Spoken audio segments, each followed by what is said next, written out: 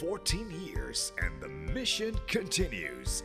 Gorgeous ladies from all over the world gather to compete to be the next environmental ambassadress, Miss Earth 2014. Continuing the legacy of beauty and responsibility. Find out who will inherit the crown on Sunday, November 30, 10:30 a.m. right here on ABS-CBN.